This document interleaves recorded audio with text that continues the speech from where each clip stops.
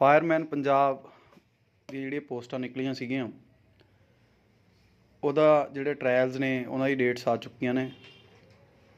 ਕੱਲ੍ਹ ਨੂੰ 18 10 2023 ਨੂੰ ਜਿੰਨੇ ਵੀ ਮੇਲ ਕੈਂਡੀਡੇਟ ਨੇ, ਉਹਨਾਂ ਦਾ ਟ੍ਰਾਇਲ ਹੈ। ਕਿਹੜੇ ਮੇਲ ਕੈਂਡੀਡੇਟਸ ਨੂੰ ਬੁਲਾਇਆ ਏ? ਜਿਨ੍ਹਾਂ ਦੇ ਲਿਖਤੀ ਪੇਪਰ ਦੇ ਵਿੱਚੋਂ 77.04 ਨੰਬਰ ਨੇ, ਜਾਂ ਉਸ ਤੋਂ ਵੱਧ ਨੇ, ਉਹਨਾਂ ਸਾਰਿਆਂ ਨੂੰ ਕੱਲ ਫਿਜ਼ੀਕਲ ਟ੍ਰਾਇਲ ਦੇ ਲਈ ਬੁਲਾਇਆ ਏ। ਕਿਹਨਾਂ ਨੂੰ ਛੱਡ ਕੇ EWS ESM general ESM BC ESM SCMB ਤੋਂ ਇਲਾਵਾ? ਬਾਕੀ ਸਾਰੇ ਜਿੰਨੇ ਵੀ ਮੇਲ ਨੇ ਜਿਨ੍ਹਾਂ ਦੇ ਨੰਬਰ 77.04 ਤੋਂ ਵੱਧ ਨੇ, ਉਹਨਾਂ ਸਾਰਿਆਂ ਨੂੰ ਕੱਲ ਨੂੰ ਬੁਲਾਇਆ ਏ 18 ਤਰੀਕ ਨੂੰ। ਤੇ ਤੁਸੀਂ ਆਪਣਾ ਚੈੱਕ ਕਰ ਸਕਦੇ ਹੋ। ਕੁੜੀਆਂ ਨੇ ਜਿਹੜੀਆਂ, ਉਹਨਾਂ ਦਾ ਟ੍ਰਾਇਲ ਹੈਗਾ 19 ਤਰੀਕ ਨੂੰ। ਕੁੜੀਆਂ ਕਿਹੜੀਆਂ ਬੁਲਾਈਆਂ ਨੇ? ਜਿਨ੍ਹਾਂ ਦੇ ਪਾਰਟ ਏ ਦੇ ਵਿੱਚੋਂ 25 ਜਾਂ 25 ਤੋਂ ਵੱਧ ਨੰਬਰ ਨੇ।